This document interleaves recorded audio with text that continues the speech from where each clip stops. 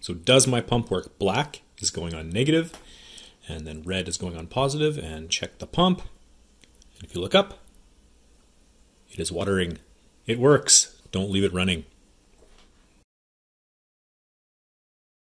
Okay, the next stage would be just the simplest pump, which looks like this. Just a simple button code. A turns my digital pin 0 on, and B turns it off. The first time I coded it, I had no off buttons. My pump just ran out. Got my pump. There is my micro:bit. So here's the circuit. And you can see it's just the same as the diagram. So when I press A, my pump turns on, and B, pump turns off. Voila. So now I know my pump's working. Let's make it automatic. The final one, automatic. Now I have my code, the simplest possible.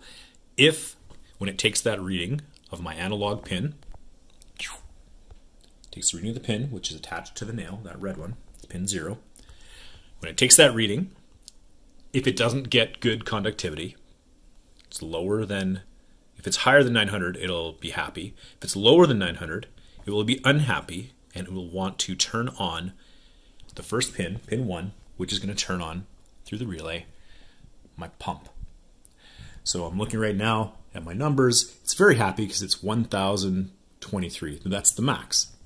Now, if I were to take these out, it might still get a reading, but it's going to pause. Oh, it's unhappy, and the plant watering system's up. So my number is, I don't know, 600 or something. Unhappy. Right? 661. Unhappy.